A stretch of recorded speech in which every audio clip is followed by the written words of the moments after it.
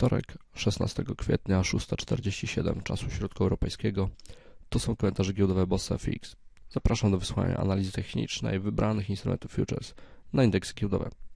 Kurs futures S&P 500 znajduje się w rejonie 1551 punktów, a czyli w rejonie takiego lokalnego oporu, który wcześniej powinien być wsparciem, natomiast został wczoraj przełamany. A więc mamy tutaj bardzo taki krótkoterminowy opór. Wybicie się w górę ponad właśnie 1551,68 powinno skierować instrument pochodny na szeroki benchmark z Wall Street w stronę kolejnych oporów 1557,97 1561,75. A warto zauważyć, że średnia EMA 200 w układzie H1 opada, a także szybkie wstęgi z modelu Gappiego przyjmują również takie ujemne dynamiki, a w związku z powyższym ważniejsze na tym etapie są opory niż wsparcia.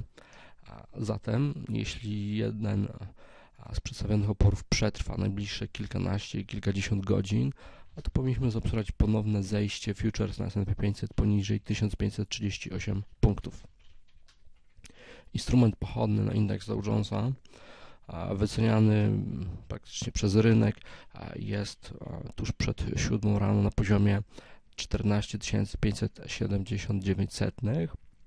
A poprzednia godzina przyniosła przełamanie oporu 14572, a w związku z tym mamy tutaj lokalny punkt wsparcia. I tak, jeśli zostanie zachowany, możemy zaobserwować podbicie w stronę 14661, przy czym podaż powinna ponownie przyjąć tutaj swoje aktywne stanowisko, gdyż szybkie mm, stęgi modelu Gappiego opadają. Natomiast EMA 200 w układzie H1 pokazuje, że kurs mógłby jak najbardziej w jej stronę zmierzać. E, jeśli jednak lokalne wsparcie 14572 zostaje przemane do dołu, powinniśmy zaobserwować ruch w stronę kolejnego wsparcia 14489, a jego przełamanie powinno skierować futures na Dow Jonesa w stronę 14 tysięcy punktów.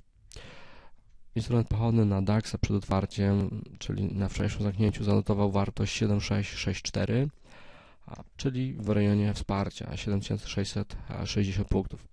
Ale tutaj takie opory na dzień dzisiejszy mniej więcej dyktowane są przez opadającą wstęgę Gapiego, ale także przez dynamiczne poziomy modelu Camarilla. Zatem 7761, 7775 to twarde opory i tutaj jak najbardziej korekta wzrostowa jest możliwa z opcją ewentualnego rozwinięcia właśnie wczorajszej fali spadkowej. Dodajmy, że mm, FW20 w dniu dzisiejszym nie jest notowane z uwagi na brak sesji. Dziękuję za uwagę. Mówił dla Państwa Michał Pietrzyca.